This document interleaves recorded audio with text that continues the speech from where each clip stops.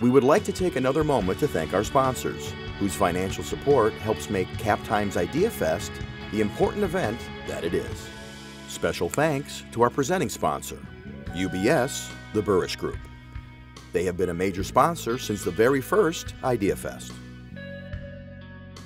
Major sponsors include HealthX Ventures, Exact Sciences, and Quartz. Co-sponsors are Madison Gas and Electric, Godfrey and Kahn Law, the University of Wisconsin-Madison, and Epic. Our Friends of IdeaFest sponsors are Wisconsin Alumni Research Foundation, Madison Community Foundation, University Research Park, Cargo Coffee, Doc Smokehouse, and Forward Theater Company. Our media partners are the Wisconsin State Journal, Madison.com, WKOW Channel 27, and Hinckley Productions. Again, we thank you for your support and for making IdeaFest 2021 a huge success.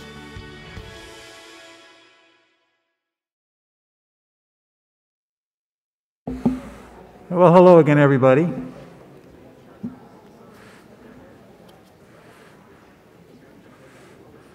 Um, if you just got here, I'm Paul Fanlund, editor and publisher of the Capital Times. And our next speaker is uh, widely regarded as the most important investigative reporter on the role of dark money in politics in America. Jane Mayer uh, was invited by our moderator for this session, David Maraniss. She's written about politics, culture, and national security since the, for The New Yorker since 1995. Her recent New Yorker article headlined, The Big Money Behind the Big Lie, details how right wing groups and foundations are leading the crusade to enact laws that limit who can vote and who can challenge the results. In it, she writes extensively about our own Bradley Foundation in Milwaukee. She is author of the 2016 New York Times bestseller titled Dark Money The Hidden History of the Billionaires Behind the Rise of the Radical Right. The New York Review of Books pronounced it, quote, absolutely necessary reading for anyone who wants to make sense of our politics. And Esquire called Jane quite simply one of the few utterly invaluable journalists this country has. Her 2008 book was similarly impactful. It was titled The Dark Side The Inside Story of How the War on Terror Turned into a War on American Ideals. Uh, just a reminder we have index cards for questions. We'll get to them as we can. Uh, the sponsor of this Idea Fest session is the Godfrey and Kahn law firm of Madison, represented today by Brady Williamson. We're very grateful for that support. So please welcome Jane and David to our stage.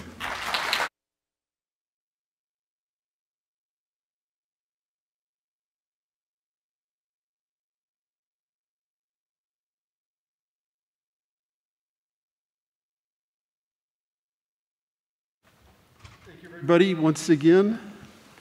Uh, this one is really a pleasure for me. Uh, Jane and I have known each other for unbelievable amount of time, uh, showing how old we are, or at least I am, but uh, more than 40 years going back to when Jane worked for the late, great Washington Star, and we were competing against each other uh, long, long ago. But for the last 25 years, she's been at the New Yorker, and I consider her the premier investigative reporter uh, on money and politics in America. Um, and as Paul said, she's won a bucket full of awards and honors, and her Dark Money is a modern classic.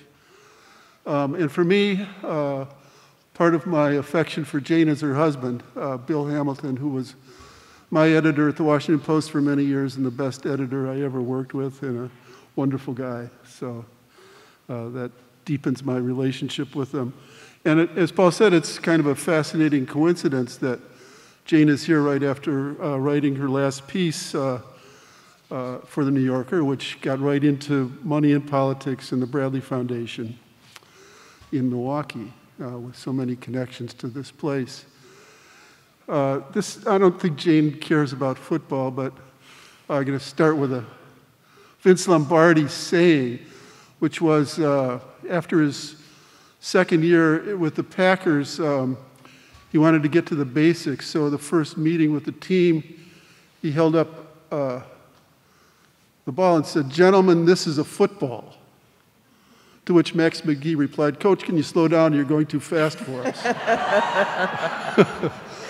so, at the risk of not going too fast, Jane, could you sort of describe what exactly dark money is and its sort of origins and how it infected American life?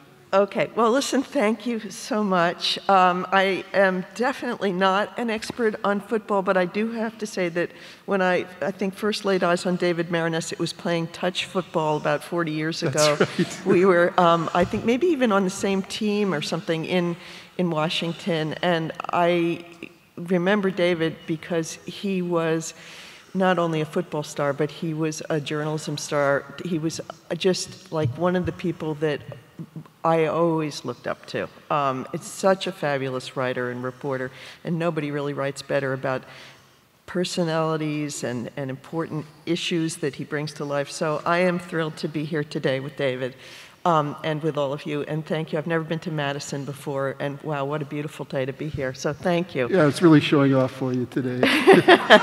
So, But we it- tell the students, uh, well, the last student I, I brought here, a potential student, he said, Well, what's it like in February? Well, I've been to Duluth in February once. That, that I remember. Um, but I, um, anyway, I th- thank you. It just seems like the wrong day to talk about dark money on such a beautiful sunny day. What is dark money? Da- dark money is a term that just has just generally uh, come to refer to undisclosed money flowing into American politics from people whose identities are not known. And there are tons of ways that they make it into American politics. It often, it mostly refers to money that goes through um, organizations that claim to be um, nonprofit charities of some sort or another, social welfare groups or charities. And so they're organized under the IRS to look like they're doing, um, they're supposed to be doing public interested work. And that's why they get tax deductions if they're charities. And um, they, the idea is that donors can, can give their money to whomever they want secretly. But what's happened, and what I write about a lot in Dark Money, is that, is, is that this kind of philanthropy has become weaponized, and it's really become a huge force in American politics. But it's sort of sub rosa because it's, it's not, it doesn't acknowledge that it's actually a form of politics and lobbying, and that's what it really is. So I spent a lot of time trying to trace the money, figure out where it was coming from, uh, turn over these rocks, sort of see, you know, the money trails, and really, for me anyway, it started a little bit in, uh, uh, my inquiry started around the Tea Party when I started to see in 2010 that there were all of these um, uh, protests and the people seemed to have the same signs and the same slogans, and they were in different places all over the country. And I wondered, you know, how is this organically popping up in, in every place but exactly the same? And so I started to look, and what I found when you start looking is that underground there was there were sort of uh, streams of money and organizations that were connecting what looked like a spontaneous eruption of anger at the Obama administration. And what were those uh, underground uh, streams? Well, sort of the first one that I came across in any big way was um, the Koch brothers. And at the time, nobody really knew that much who they were, um, including me. But I remember actually the Times Magazine had done an interesting piece on them just as kind of uh, billionaires. But it hadn't really gotten that much into their politics. And that had been like 10 years earlier, so it was a little bit in my head. And also, I'm a New Yorker originally, and I remember walking around the corner at Lincoln Center, and I saw, you know, at what used to be an unnamed hall, the David Koch Theater, and I kind of thought, I wonder if people in New York have any idea when they go there who that guy is and what he's funding, because I was looking at, at, at sort of uh, financial things having to do with politics, and I was seeing David Koch's money is flowing into this, this funding the hate against Obama. And there it is, right in the middle of the Upper West Side, the, one of the most liberal places in America, with his name. And his name was chiseled into the side of that building, but really secret when it came to politics. And so I thought it was pretty interesting and started poking around. It's amazing the way that right wing money has uh, sort of invested into American culture in these insidious ways. You know, the Sackler Museum in, in Washington, you know, on the National Mall. And, I mean, I think that's sort of tradition, the traditional kind of philanthropy that we know. I mean, and Freud actually wrote about how people, rich people buy art and support uh-huh. culture sometimes to sort of cleanse themselves and cleanse their reputation. And, you know, to some extent, we're all the beneficiaries of that because it's great to have great cultural organizations. And that, that is the sort of traditional kind of role for philanthropy, you know, maybe going back to the Medicis. But, but what we've seen in, in the last 40 years, especially in American politics, is that a number, not that many, but a number of just spectacularly rich very, very far right fringe um, political ideologues have taken their fortunes and, and poured them into sort of political activism under another name, calling it philanthropy. And, and, and, and, and among those are, since we're in Wisconsin, but uh, you know, the Koch brothers were the first I came across. The second set of brothers were the Bradleys, mm-hmm. um, you know, Lynd and Harry Bradley. And, and they were actually sort of contemporaries, maybe even a little bit older. They were a little older than the Kochs, but they, they shared something in that they were all members of the John Birch Society, and which was considered at the time, you know, at least to, to my way of thinking as I was growing up, I thought it was sort of over, and I thought it was really almost laughably fringe. You know, people who thought that Eisenhower, President Eisenhower, was a communist, and um, it seemed so far out that I thought it had been kind of laughed off the map. But in fact, it turns out that the, these former Birch Society um, zillionaires were channeling their fortunes into American politics and pushing it ever, ever, ever to the right. You know, let, us go back to the Koch brothers for a second. They're kind of the big enchiladas for this thing. And last night, um, uh, when I was talking with Phil Rucker and Carol Leonnig, they talked about the moment where uh, the chief, Joint Chief of Staff Chairman uh, Milley sort of compared what he saw going on to uh, a Nuremberg moment in the, the Reichstag um, and sort of comparing this moment to, to the premonitions of, of Hitler.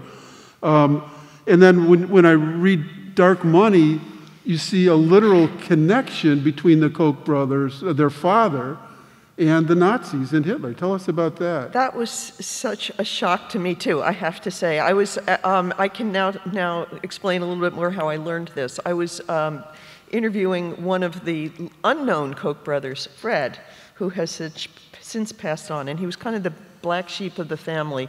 He was somewhat liberal, um, and he, he, he told me that their father had nearly died in the Hindenburg when it was blown up, mm. um, and um, and he was the father Koch had been doing business in Germany. I said to Fred, wait a minute, why was your dad in Germany during that period?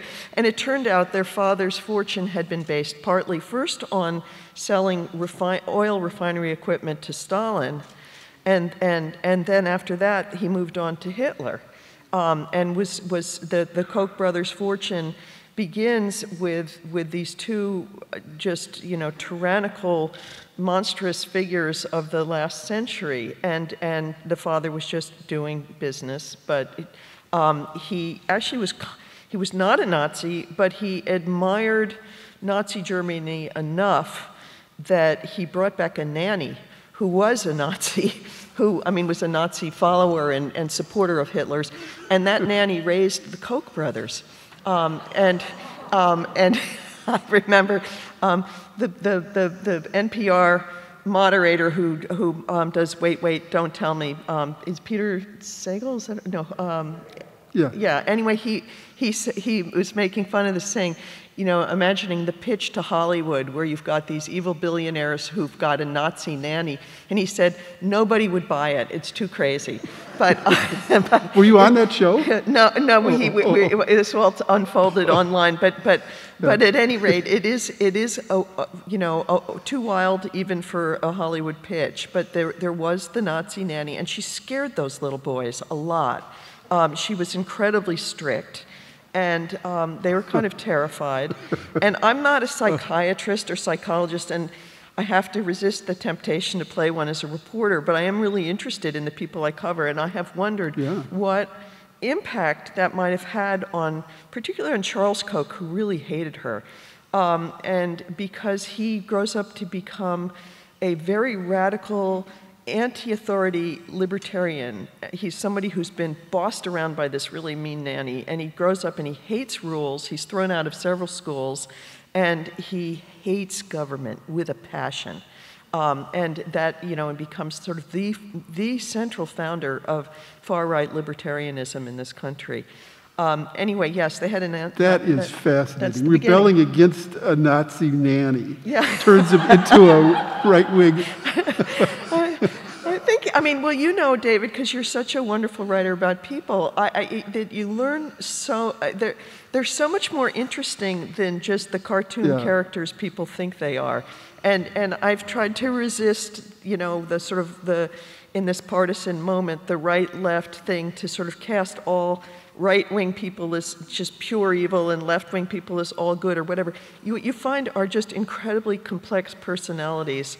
And, and I would say that's true of the Koch brothers. They were both very, very bright, the ones we know. They got um, graduate degrees from MIT as well as undergraduate ones, and mostly in, in, in forms of engineering, including nuclear engineering. And, and when it came about to, to their moment to look at American politics, they wanted to take it over.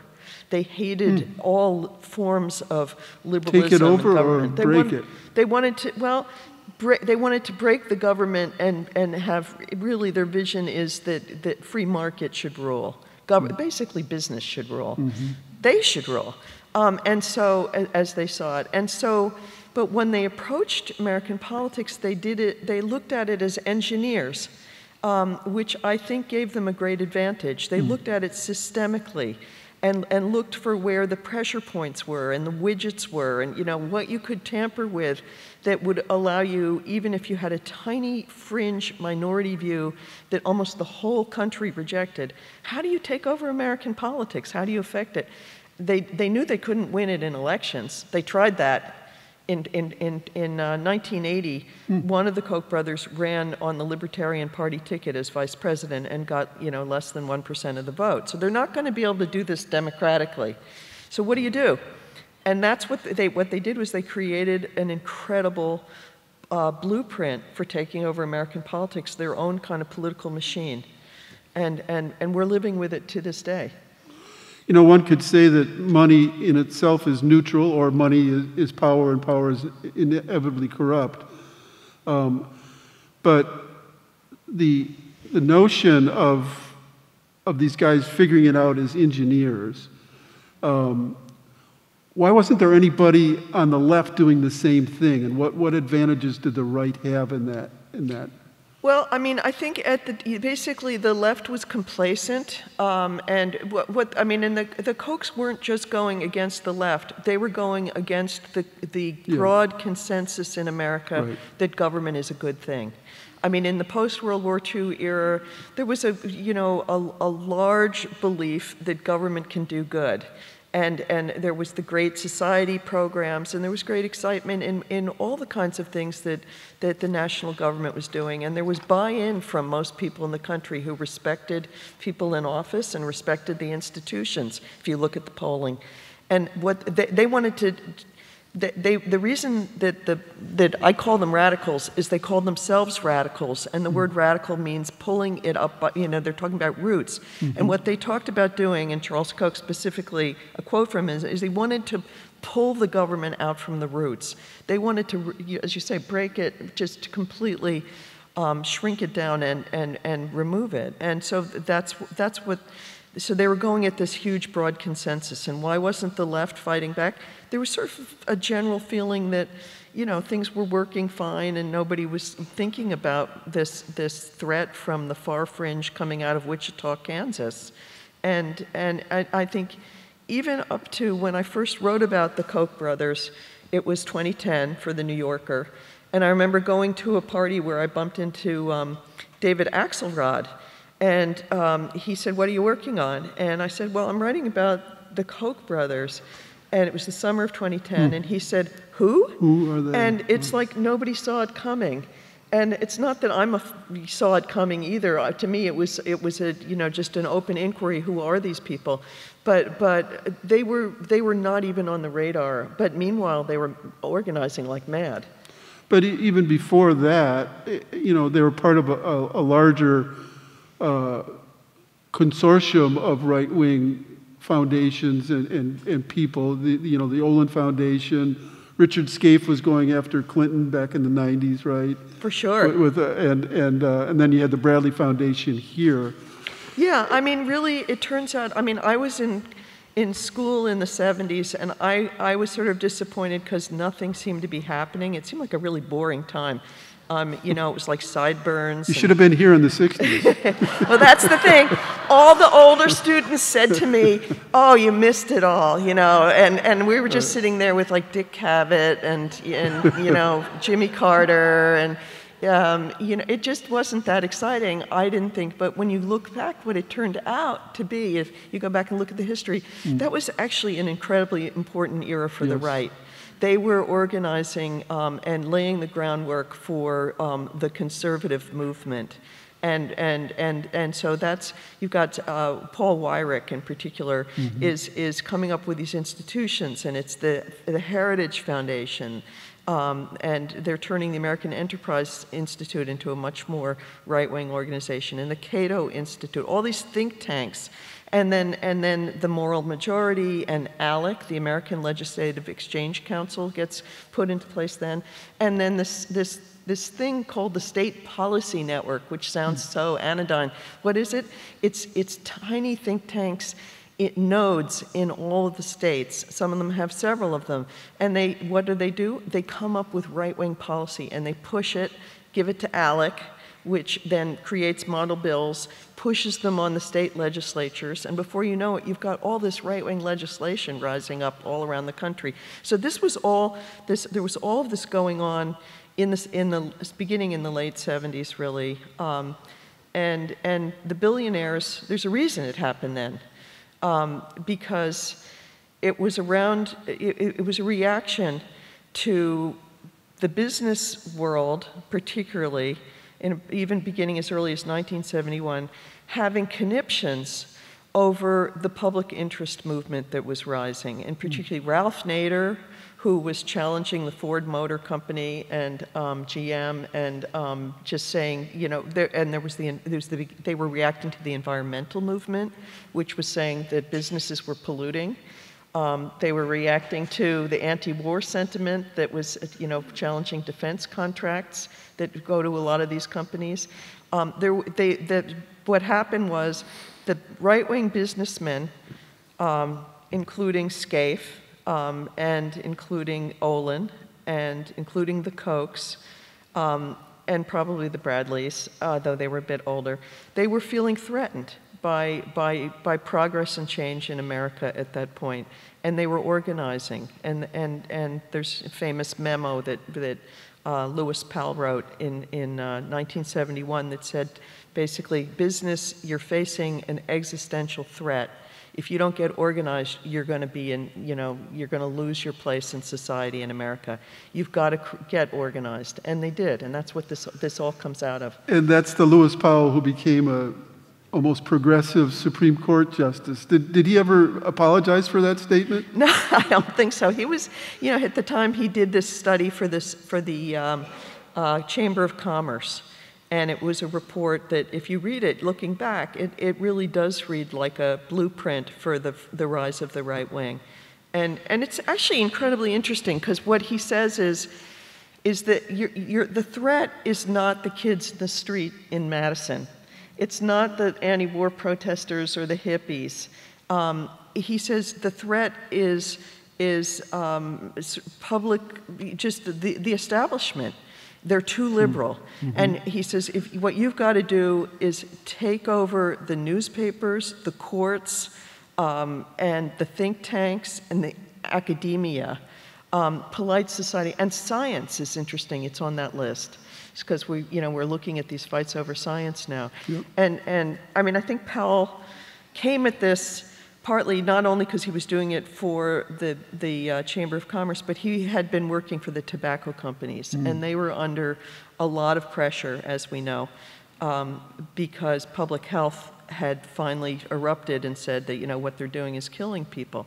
So he, he, he anyway, this was sort of a, a, a battle cry of corporate America. And he said, you got to get organized, and you need to take back the courts, the, acad- the, the colleges, the um, pulpits, um, all the things that we think of as right wing now were, were sort of laid out as targets. Since we're on a college campus, um, part of that was insinuating uh, corporate money into law schools, right? Absolutely, yeah. I mean, and that has really been, I'd say, one of the. Not this law school, by the way. Um, it's, but it's one of the very most successful things that was launched during that period was the Federalist Society and the movement of um, law and economics. And, and the, the, the, that was very, very much funded originally by just a handful of private foundations, family foundations, the Olin Foundation especially. Um, Bradley puts tons of money into that now. And um, it's, it's, it's really become such a force. I mean, we look at the Supreme Court today, and um, how did it happen that the justices of the Supreme Court, the majority of them, are so out of step if you look issue by issue with the majority opinion in America? Well, it, it, it wasn't a total accident. There's been a long, long um, push on the far right to credential, empower, um, and, and, and place on the courts those kinds of justices and, and to push them forward. Um, I have a, a daughter at, at, at Yale Law School right now, and the Federalist Society is a really big force. Even at Yale's thought of as a very um, liberal law school, but the, the Federalist Society is, it's, and, and in particular, it's known as a great thing to join if you want to get ahead, because it takes care of its own. They, they give them good jobs, they give them good clerkships. You can move your way forward towards a Supreme Court clerkship if you're really good, and then you're credentialed, you're golden. And there are certain law firms that are big law firms where they just ease right in, like Absolutely. Foley and Lardner, maybe. Yeah, and, and Foley and Lardner, yeah. That, that's a, it has a special relationship with the Bradley Foundation. Yes. Um, so, you know, you're looking at this one terrific journalist, uh, very nice, you know, if tough, uh, incredible reporter, but, you know, you sort of became a target. You know, I- I've, I've never actually, I mean, uh, the right wing went after me about Obama and Clinton, but not in the way that they went after you. What, wa- what was that experience like? I, you know, I want you to defend yourself, but just explain what it was like when the Kochs actually hired a private investigator to try to find out things about Jane Mayer. Well, it was so strange um, that I, I mean, I actually originally thought it was kind of like a joke um, because, I mean, I'm, I'm, I'm a reporter at the New Yorker magazine, which I think of, you know, when I joined it, I, I knew it's not just its wonderful journalism, but its great cartoons, and I thought there'd be a bunch of editors with bow ties, and, and there are. I mean, it's the most civilized place on earth, and and so we're not exactly, you know, on the barricades, and um, and and neither am I. Um, and you know, I'm a, I'm just someone who wants to get to the bottom of things, and so when I'm as a reporter, I feel like it's that's my sort of public duty. And so, so anyway, I had heard early rumblings of someone. Someone actually called me at some point and said, you know, there's a there's a private eye they'd heard there was a private eye poking around me, and I, I, I really did think it was kind of funny because at the time I lived in the suburbs with my daughter and husband and dog, and I thought, oh boy, are they going to be bored?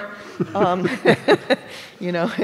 And um, but it turned out to actually be really awful um, because what I hadn't anticipated. I mean, I knew I didn't have any big skeletons in the closet um, beyond sort of admittedly late night ice cream eating. Um, but, but beyond that, you know, there really wasn't much, but it didn't matter.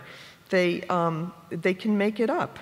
And that's what happened. I got sort of, there was, I was very close to being um, framed as a plagiarist by the Kochs, um, who had hired a private eye an, a private that was run by the former commissioner of police in New York, that firm. A Giuliani guy, right? A, a Giuliani guy, Howard Safir. And um, it took me a long time to figure this all, put all the pieces together, but I did finally get it and, and, and write it, and they've never denied it. Um, and basically, what they did was they went through 10 years of my writing, including a couple books, looking for any sentences that were the same as anybody else's sentences and using the, you know, whatever the software is that looks for plagiarism. And they came up with four examples of sentences, and, um, you know, in gazillions of words. And, and they called my boss, David Remnick, um, the editor of the New Yorker, and said they were, um, this is uh,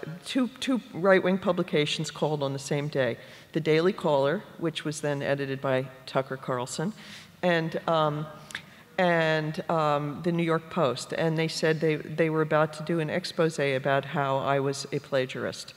And we'd heard nothing about it before that, and I had overnight to respond. And so, I, you know, I, and David called and said, you know, can you tell me what is this about? You know, can you look into this? And so it was pretty terrifying mm. um, because if you're a reporter, any kind of writer, I mean, that's like the the crime that's going to kill you. Mm-hmm. Um, it will just do in your career. And, and, and so it was like a bullet coming right at my head. And so I called, I got, I called Tucker Carlson, who I knew. I said, Tucker, you know I'm not a plagiarist. And he said, I don't know any such thing. And, and I said, all right, send me the exam. What are, what, are you, what are the goods? What are the examples here? So he sends me these four sentences. And so I thought, okay, I'll do oppo, you know, I'll do um, crisis management. So I, um, just like they do in politics, and I, I, I called up the authors of these stories and said, you know, if you feel I've plagiarized, I'm incredibly sorry, but if you don't, would you please put out a statement saying this is bull? And um, all four of them backed me up, and they went on the record. And yes. Thanks. And, and, and, and that applause should be for them because really the lesson is like if someone is being falsely framed, help them out if you can because it's a hideous experience and it could have been career ending. And instead, they were brave enough to just tell the truth. And they all went on the record, and I got statements, and I sent it to Tucker in the morning and said, Tucker, here's what they say. And if you publish it, you know that it's false and it's malicious, which is a textbook definition of libel. Mm-hmm. And I took my dog for a walk, and I came back, and there was a little note from Tucker Carlson saying, We're not running it. And, um, and then the New York Post also backed off it. And to their credit, they did a story saying, Smear disappears. Who was behind it? And they started reporting and they started raising questions about whether the Kochs were part of it. And it, it, it, it took a while, but eventually it led right back to their doorstep. So, so that's what they do when you know when they want to really bring you down. Yeah. They fight. They fight dirty, and um, and it wasn't just at me. They've they've gone after many many of their critics in the environmental world, um, people who've worked for them who wanted to blow the whistle. Um, people who've brought suits against them for their pollution. I mean, they've, they, they, they've, they've fought very, very hard and, and very ugly against a lot of people over time, and, and uh, one small reporter is just a little piece of it. Um, and it's, but it's, you know, it's, it's, it's what you've got to do if you want this country to, to be able to understand what's going on. It's just the price of doing business. You've mm-hmm. got to like tell the truth, even if, and it wasn't, it turned out, you know, I'm very lucky. I work at a great, great publication with great lawyers. They'd never lost faith in me and they've always backed me up. So, so you know, they look carefully to make sure you got it right. But if you have it right, they're going to publish it. So. Um, I didn't know that story. That's that's very illuminating and scary. But and it's sort of scary that they knew exactly what this what the bullet was. Yeah, know? it is, isn't it? Yeah, you know, like yeah. that would be the thing. Yeah. That, I mean, I did hear uh, later. I heard that they had looked elsewhere for bad stuff. They had gone actually were looking into a former boyfriend of mine. And I thought that is really scraping the bottom of the barrel, you know, because I'd been married for years by then. Yeah. So I'm glad okay. they were so desperate. well, um, earlier today I was speaking with Juliet Eilperin and, and Bonnie Jo Mount about climate change, and. Uh, you know, its devastating effects around the globe. And, and the Kochs have uh, deep tentacles in fossil fuels, and I'm sure that that's uh, attacking climate activism is, is one of their uh, main priorities. How, how, did you see that play out? Yeah, absolutely. Um, their fortune, I mean, and their fortune is gigantic. Um, I mean, one of them, uh, David has now died, so we're really talking about Charles, but um, they were both made about, typically, they, when I last was looking, it was a couple years ago, they were each making a billion dollars a year. And, um, and they were, you know, often listed as five and six of the, the wealthiest people in America and wealthiest people in the world. So we're talking about a gigantic fortune that came from fossil fuels primarily. Um, and it's pipelines, it's refineries, um, and uh, they own a lot of the tar sands fields up in, in, in Canada that, that you know, they've made a huge investment. So, they, so anything that gets between America, America's economy and fossil fuels threatens their bottom line. And, and, and, um, and so they, that's a lot of the reason that they got so organized in the last, I'd say, 10, 15 years um, in putting out disinformation about climate change. And they they, there's a Greenpeace report that identifies them as, quote unquote, the kingpins of climate denial. And they, they really were. It was a very sub rosa kind of thing they were doing, but they were funding all these organizations that first denied that fossil fuels were causing climate change. Um, and, and secondly, I mean, they went through all these iterations. At one point, they decided, they finally acknowledged climate change is real, but they then came out saying it was going to be great. Um, because there'll be more arable land in the world for you know because everything's going to melt and you can plant up in the North Pole or whatever. Um, I, I, interviewed somebody who worked at one of their think tanks the Cato Institute who literally said to me, the polar bears have never had it better. Um, and I'm sitting there thinking, you know, he's interviewed you, many of them. I'm yeah, sure. I mean, how can you, how can you even say that? But you know, of course, they had some study that they had funded, and some scientist who was willing to take the money and say so, and they hand it to you, and you know, and um, it's had a, I, I do think that they in particular had just an extraordinary impact in American policy. I mean, there's really no other sort of modern country that has gone the opposite direction from doing something about climate change other than the hmm. American Congress. The only reason the American Congress won't do anything about climate change, unlike every other you know, modern country, is because it's in the pocket of these interests. And it's so incredible to watch it play out in Washington. You know, and they, and they, they, they, they're still, you know, basically paralyzed, that is, Congress is by the money that they take in and by organizations like the American Petroleum Institute. And they've confused a lot of people in this country about what, what you know, whether the science is real. And, and, and it, I, you know, I think it's a tragedy. And I, but I, I think it, I also am very hopeful that the reality is becoming uh, impossible to ignore. And that, and that, and you could look at public polls, and you can see that all over this country now, in almost every county, the New York Times had a, a chart that showed people believe that climate change is real mm-hmm. and that we have to do something about it. So the oil companies are beginning to lose the battle of public opinion. This is kind of a esoteric question, like the difference between uh, Stalinists and Trotskyists, but but the Koch brothers uh, didn't like Trump right? I mean, right. basically, even though they both believe in pulling something up by the roots, I don't know what Trump believes in anything, but what was it about him that they didn't? It was really interesting, isn't it? Um, and so, um, yeah, Charles Koch said in 2016 that the, the choice between Hillary Clinton and Donald Trump was like choosing between cancer and a heart attack.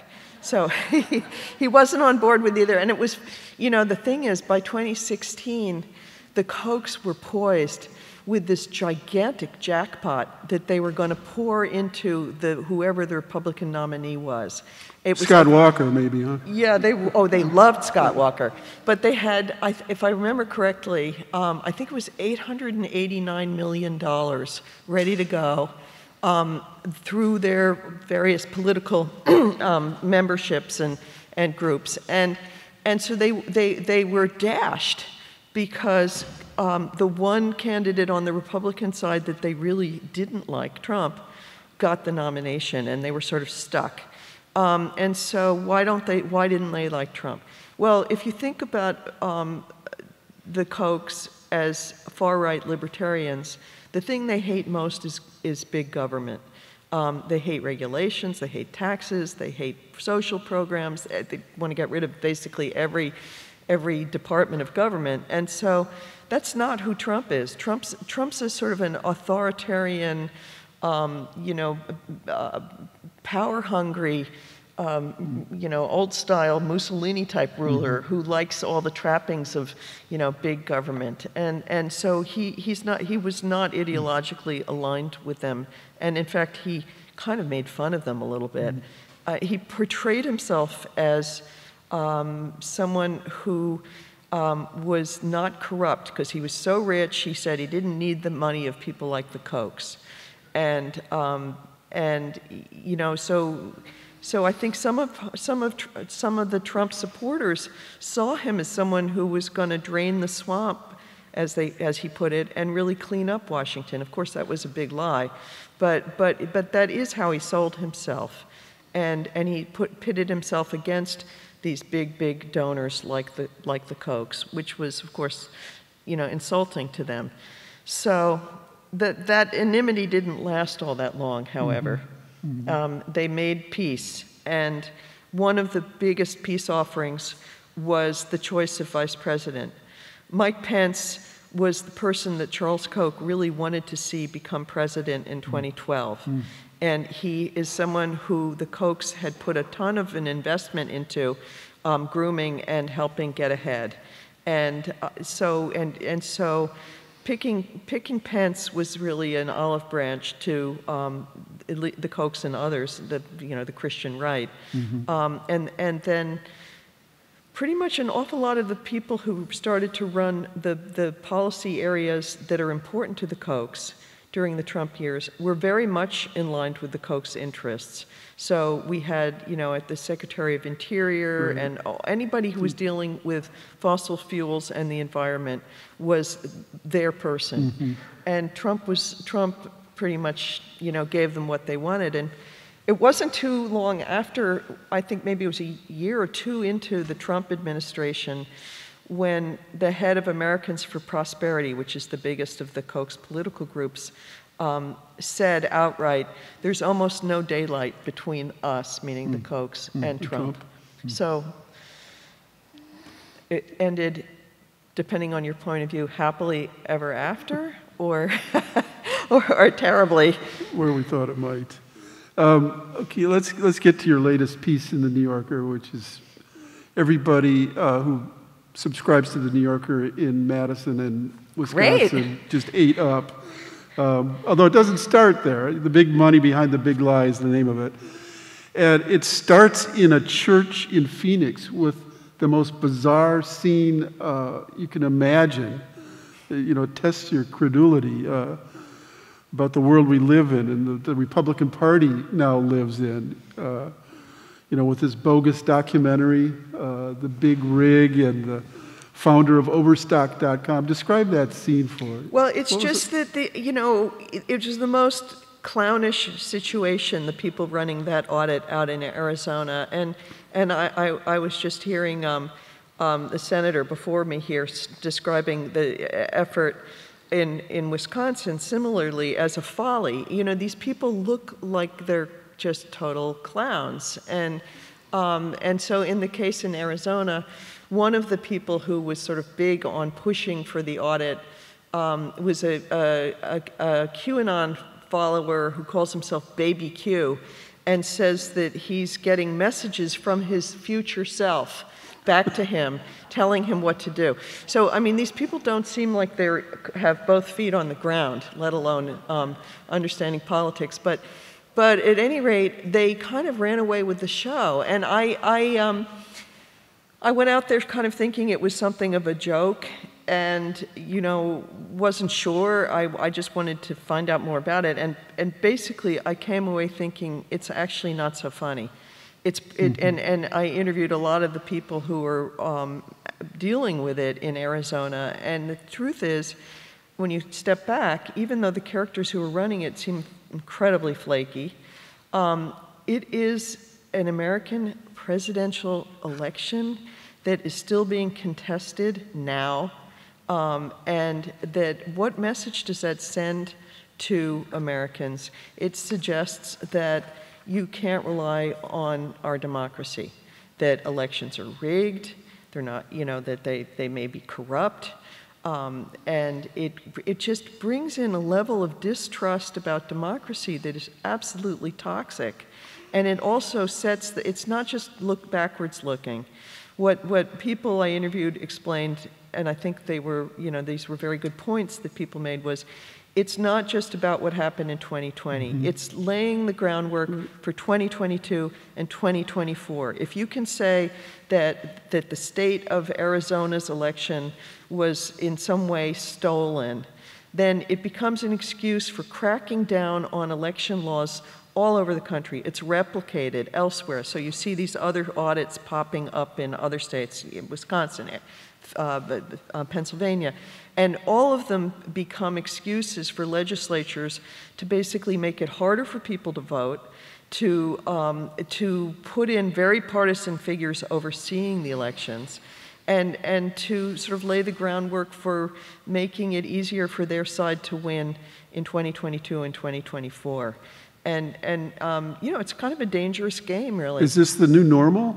Do you think that the Republican Party will be challenging every election from now on? I mean, I they obviously they tried to do it in California, but it was such a blowout that Elder couldn't do it. I mean, it was what what the, they Larry Elder was talking about doing until he was blown totally yeah. out of the water. I mean, I saw Karl Rove, the you know Republican, um, um, you know, uh, political consultant, whatever, um, saying he thought it was a really um, self destructive thing for the Republican Party to do.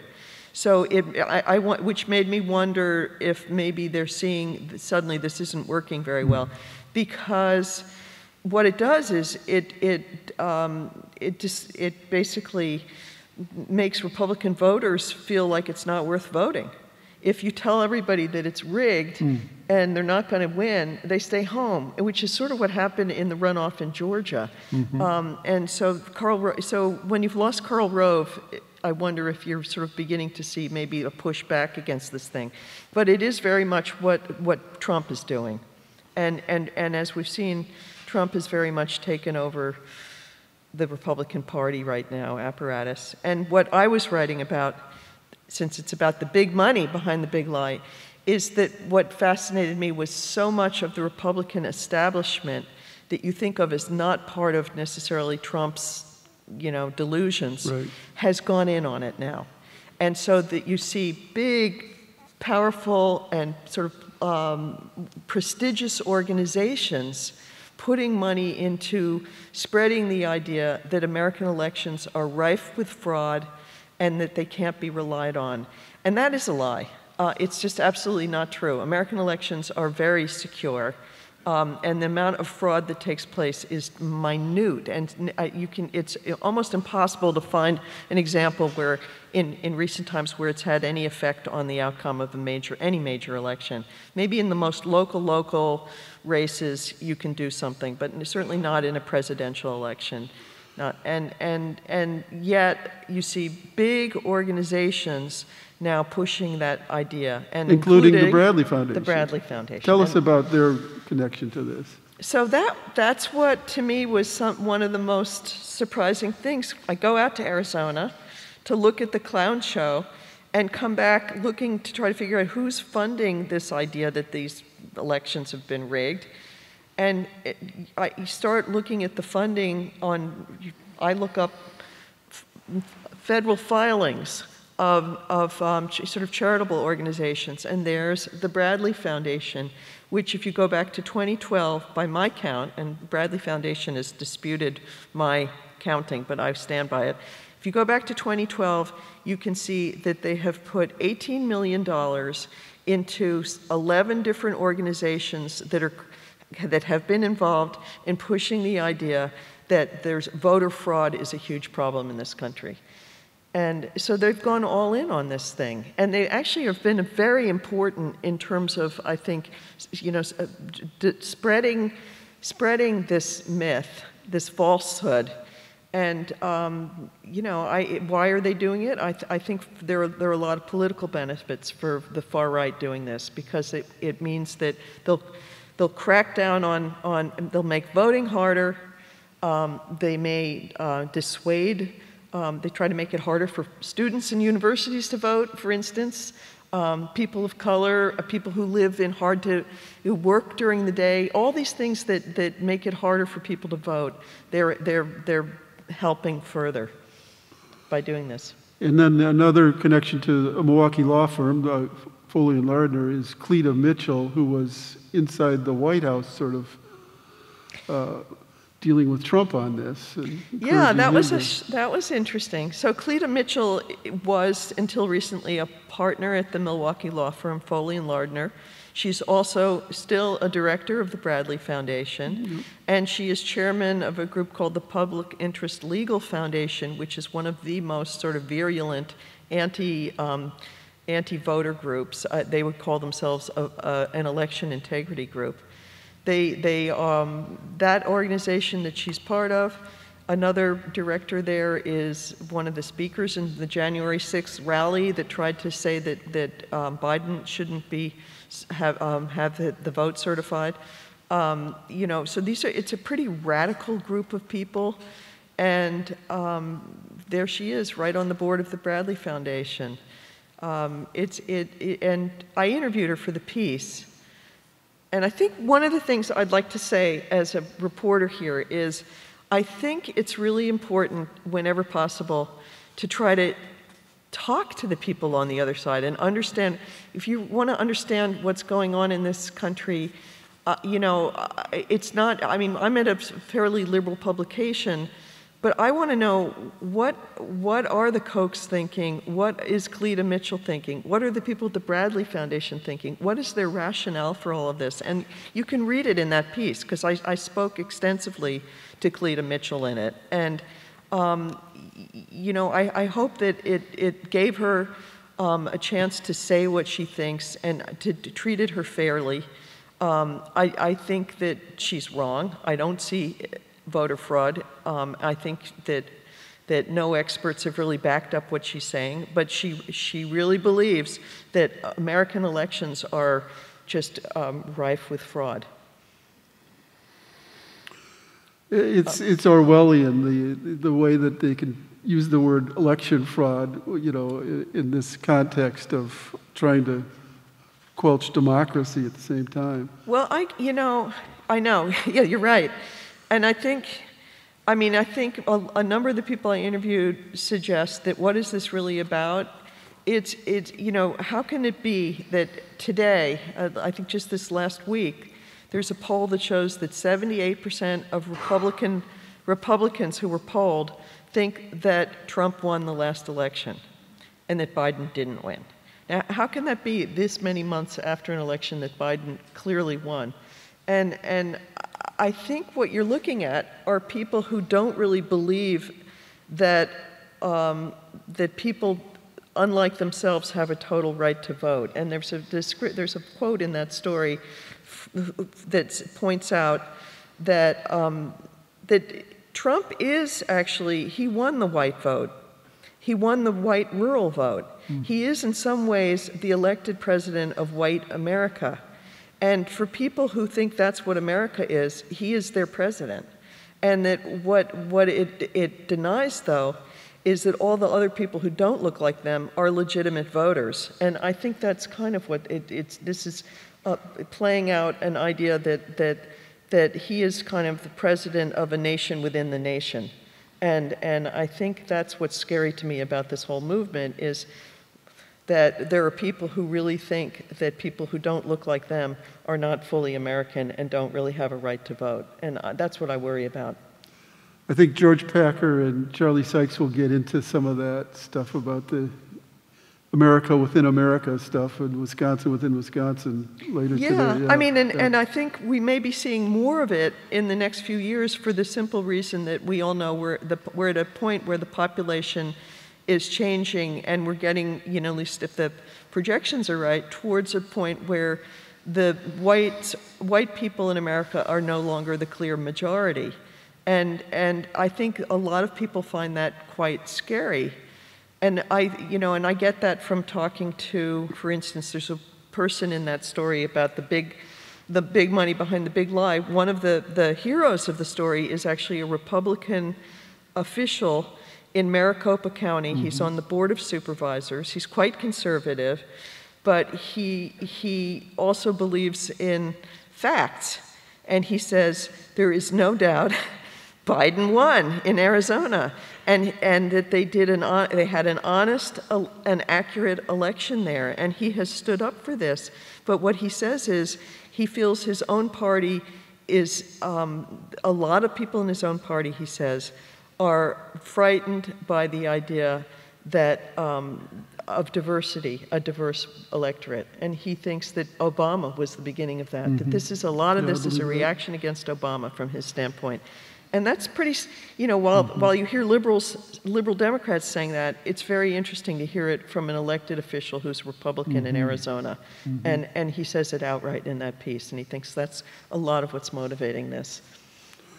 We could talk for three hours. Uh, uh, We've got tons of questions from the audience here, but um, I'll try to get to a couple of them.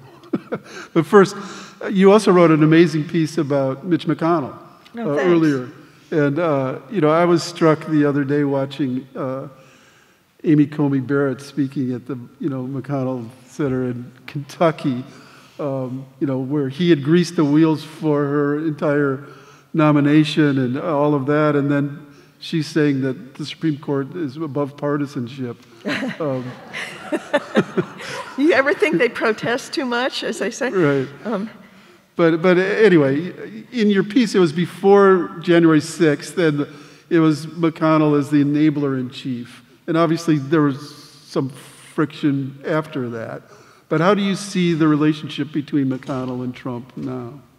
Well, it's very complicated and interesting, I think. I mean, McConnell um, is about one thing, which is um, getting and holding power for himself and his party.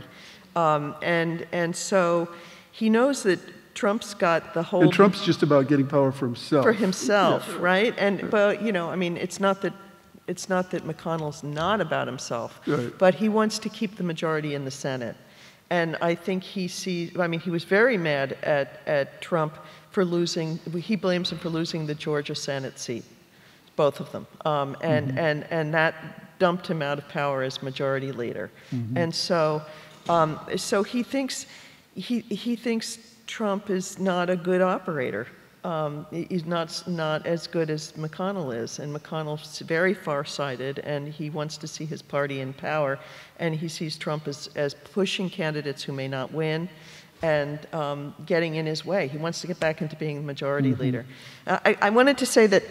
Um, when when you were talking last night to Phil Rucker and Carol Leonnig, um, they were saying you were asking something ab- about you know the the souls of the people who have backed Trump. You know, how do they see it in their own soul? How do they justify it? And they and they were laughing and saying, well, we don't ask them about their souls, but I actually did ask. I, I, one one of the most astounding quotes to me in that story about McConnell comes from someone who knows him really, really well. And I was asking this person, what, what does he care about? Like, what really makes him tick? And this person who truly knows him said, if you're looking for him to have a soul or hmm. to really care about something, the person said, he doesn't. Mm-hmm. He doesn't have one, and he doesn't. And this, you know, and I had been looking for months trying to understand him. Like, what is hmm. there? And they said, nothing. It's just like the hollow man who wants power. And, and I think that's what you kind of have to understand with McConnell. Um, and he's very good at getting power and holding power, but, but um, there's not a lot of depth to that soul. So the, the two questions I'm going to ask, both people get a copy of Jane's wonderful book, Dark Money. I don't, they're, they're not, they're, they're not signed, but whoever asked it will know that they're the one who asked it. And this relates back to, to Barrett and, and McConnell in a sense. Um, it's not the sort of question that you're normally asked, but should the Biden administration seriously consider expanding the Supreme Court? So, so I always consider myself, um, and David will recognize this, a reporter, not a Right. pundit, and it's a line that sort of nobody believes in anymore, but I really do. So I try not to advocate my, you know, whatever my personal views are. I, I, you know, I'm not even sure what my views would be if I were waterboarded on that question, but. Um, but so I, I, I don't know. I mean, I do think the problem of the Supreme Court is really a, a- a serious one. I think it's very out of step with this country on many, many issues at this point. For me, the, the way I look at it is, is I want to know more, um, not about expanding the court necessarily. I want to know more about the dark money that helped put those justices on that court. And there is a whole system, there's a, there are a bunch of organizations that have worked very hard and mostly in the dark to put those justices on the court. There's been, there are secret funders who've spent a lot of money on behalf of getting those justices confirmed. There's one, there's one funder, one donor in particular, whose identity none of us who follow this stuff know. We know there's one person who has spent $18 million on behalf of getting um, some of those justices confirmed. I'd like to know who that is, because that's a pretty big investment on building that court. So that's where my, my, Oh, that's a my great interests answer. go. Yeah, that, that.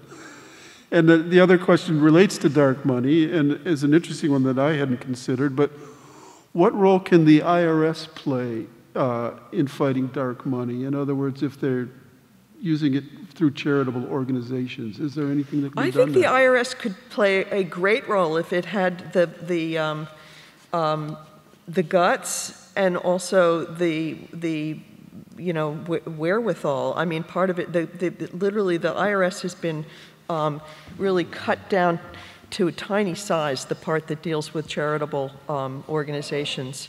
And it's been very deliberately, um, you know, decimated by um, conservatives on, in Congress um, who've pretty much tied its hands.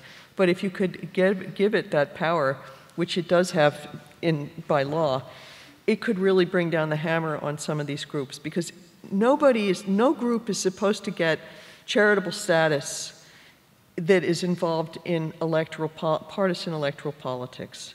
They, it's, you, you, you can't, they have to swear to the government that they're not involved in politics in order to get that tax exempt status. And it's, of course, a joke when you look at what these groups are doing. And I, I would love to see a good suit um, brought by somebody over it. Great. Um, finally, you know, Jane, you, you, you write about these difficult subjects that you have to penetrate deep into worlds that don't want you in there. And you come out with some, some pretty uh, dark stuff about dark stuff. Um, how, how does, you know, how, does, how has that affected your outlook on, on the world that your daughter's going to inherit? Well, you know, the, I mean, the thing is, I feel like I'm doing some good. I may be deluded in that, but but but the idea that motivates me is if I tell this country what's going on and give readers facts that if something's wrong, they can fix it. So I feel like I'm part of a process of, of reform and renewal, I hope. And so it, people think it's going to be um, that I'm some deep pessimist. I'm actually not. I really feel like um, this is all part of how democracy is supposed to work, and I love that we have a free press and you can tell the truth about people in power. Um, so, um, you know, so I felt pretty good about that. I, I do worry for my daughter, though, about the climate, and I worry about democracy right now. Uh, it's been it's been scary to be in Washington during the Trump years, um, because you kind of think that there's going to be a, a guardrails to democracy that you can't that will keep it from going too far, and I think what we learned was those guardrails are pretty weak. Um, they're still standing. The courts have been good um, for the most part. Um, I think civil society's been really good. I think the press has been really good. I think you know there are all kinds of robust pushback, um, but but it's been exhausting, and I worry what happens if we get part two. Well, I think everyone in this audience will agree that you're doing what you're doing is good. So thank, Thank you very you. much. Julie. Thank you. Thank you.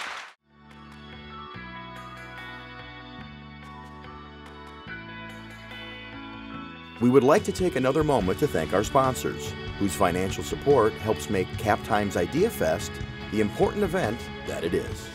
Special thanks to our presenting sponsor, UBS, the Burish Group. They have been a major sponsor since the very first Idea Fest. Major sponsors include HealthX Ventures, Exact Sciences, and Quartz. Co-sponsors are Madison Gas and Electric, Godfrey and Kahn Law, the University of Wisconsin-Madison, and EPIC. Our Friends of IdeaFest sponsors are Wisconsin Alumni Research Foundation, Madison Community Foundation, University Research Park, Cargo Coffee, Doc Smokehouse, and Forward Theater Company. Our media partners are the Wisconsin State Journal, Madison.com, WKOW Channel 27, and Hinckley Productions. Again, we thank you for your support and for making IdeaFest 2021 a huge success.